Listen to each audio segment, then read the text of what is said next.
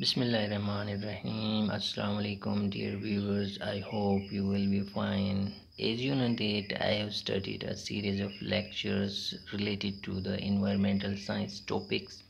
This is the my fourth lecture uh, in that series.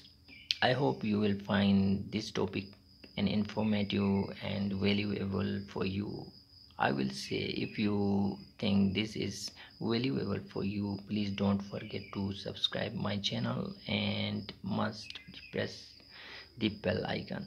Thank you very much.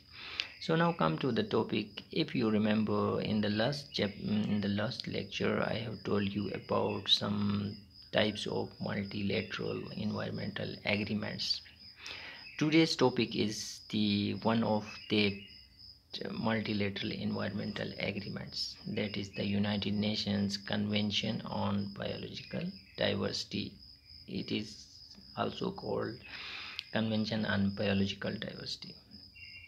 So in this topic i will discuss you some basic information about the united nations convention on biological diversity what is biological diversity and why this convention was carried out.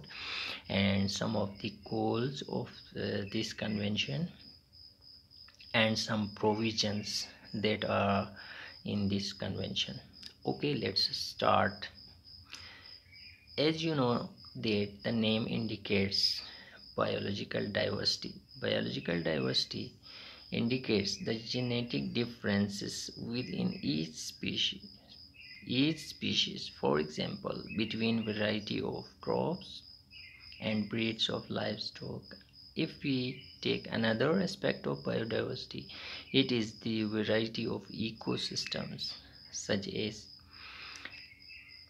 such as that occur in deserts forests wetlands mountains lakes rivers and agricultural landscape landscapes etc and each ecosystem supports a living community of creatures. We all know that they support us they support the human being a lot including we the human beings interacting with one another and with the air water and soil around them. So why this convention was carried out? Because this has very much significance with respect to the human being the biological diversity. If laws of biodiversity occur it will it will reduce the productivity of ecosystem okay? Thereby shrinking nature's basket of goods and services from which we are constantly draw we draw different kind of services from um, these biological resources. So if if it will reduce it will impact negatively on the human beings. It also destabilizes ecosystem as well. And weaken their ability to deal with natural disasters. As we already facing a lot of different impacts from loss of biodiversity in the form of floods droughts different kind of disasters in the world. You know climate change through floods droughts and hurricanes hurricanes and with response to human they cause stresses like pollution and climate change already we are spending a huge sum in response to, in response to floods different kind of disasters storm storm damage etc so such damage is expected to increase as a result of global warming. So these are some of the reasons that this convention was carried out to reduce all these we have to protect we have to conserve the natural biodiversity. Okay? Now we come to the goals of this convention some of the objectives of this convention. Actually this convention on biological diversity is related to the conservation of biological diversity this is the first goal of this convention. Another one is the sustainable use of biodiversity components. As you know that we are benefiting a lot from biological diversity around the globe.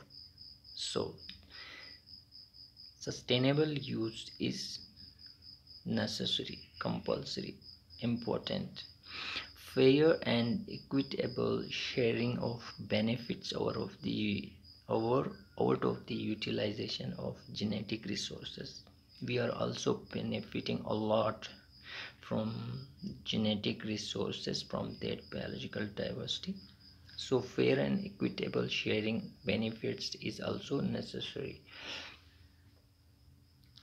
Okay this was the sum of the goals of this convention. Now we talk about some historical development that when this convention was carried out how many countries have signed this convention from which date it was effective how many countries are signatory and parties etc i will say here this is very important related to the different kind of test preparation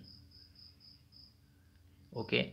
So you must remind these kind of dates that when this convention was signed in which uh, city of this convention was carried out from which date it was effective how many countries or signatory etc etc so in case of this convention this was signed on 5th june 1992 at a city of brazil that is called janeiro rio de janeiro brazil. There it was signed and it was effective from december 29th 1993 and 168 countries have signed this convention. And 196 countries or parties of this convention. Okay? Now we take with respect to the pakistan. Pakistan have signed this convention on 1992 june 1992 and adopted this convention on June 1992 okay? And Pakistan has ratified this on July 26 1994 this is very important with respect to Pakistan. Okay Pakistan have signed this convention and ratified. This is also very important with respect to the different kind of tests. Okay. Now we will discuss some key provisions in this convention. Number one is the implementation at national level should be done through different kind of natural biodiversity strategies and action plans. This is very important. All nations around the world need to develop such kind of strategies and action plans to conserve to protect the natural biodiversity okay? And this is principal instrument of implementation under article 6 of this multilateral environmental agreements. In article 6 this principal instrument uh, instrument of implementation was given that every country should develop some national biodiversity strategies and action plans to conserve the national biodiversity in a better way. Okay? So this is all about the convention on biological diversity. We have discussed some basic information some goals and some provisions that have been given in this convention. I hope you will find this will you will find this video fruitful for you. If you think this is valuable for you you must like you must subscribe my channel and press the bell icon. Thank you for watching